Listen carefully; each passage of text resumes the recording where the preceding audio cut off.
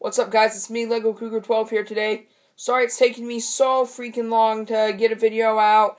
Um, yeah, I'm kind of losing interest, but I'll still keep videos for you guys because I have a lot of supporters and a lot of you guys like me. So I will still keep some of these videos out every so often.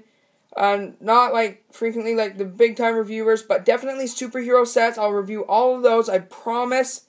Um, as you notice, I didn't do much Star Wars. Yeah, sorry guys. Um, so yeah, uh, the contest results I will do in the October vlog. So sorry guys for waiting. Uh, a good friend of mine find out found out about it, and he put it on his channel. And now I'm getting a whole lot more people entering. So I'm just gonna let it go for a bit longer. So sorry for you guys that entered up earlier. So, anyways, on to the mashup. Uh, we have The Dark Knight versus the First Avenger.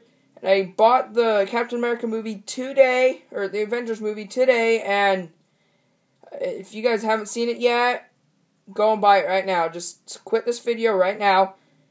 Beg your mom, or if you can drive yourself, go to the store and buy it. Well worth the money and your time. So, anyways, I'm gonna do things differently. Uh, I'm not gonna give all the stats and everything.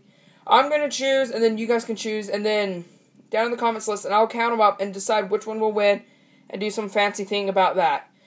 Alrighty, so I I personally think Batman will win, uh, because if he's in the dark, Captain America can't really do anything. Yeah, he has a shield that can block anything and anywhere, but if Batman comes up behind him, then it's all over.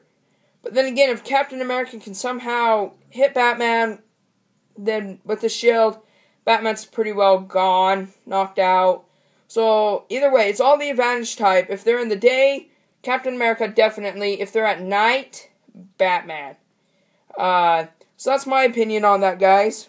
So yeah, thanks for watching. Sorry it's taking me so long, and expect contest results in the October vlog.